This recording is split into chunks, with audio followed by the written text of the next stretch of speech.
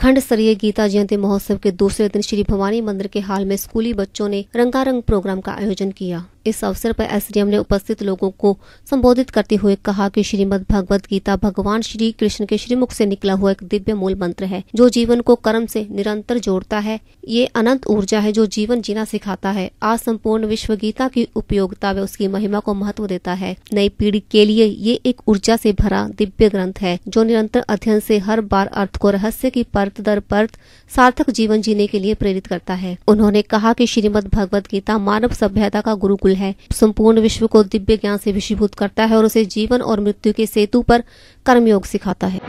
Sir आज गीता महोत्सव का दूसरा दिन था यहाँ पे। उसके बारे में बताइए आज क्या क्या प्रोग्राम बच्चों ने पार्टिसिपेट कैसे किया गीता महोत्सव का दूसरा दिन सांस्कृतिक कार्यक्रमों के साथ संपन्न हुआ और सभी सांस्कृतिक कार्यक्रम जो है वो गीता पर ही आधारित रहे। जैसे बच्चों ने वो सुनाया काफ़ी अच्छा था कि मेरे यार सुदामा बहुत नाम आया। और यशोमती मैया से बोले नंद लाला तो इस प्रकार के सांस्कृतिक गीतों का और सांस्कृतिक कार्यक्रमों का आयोजन किया गया।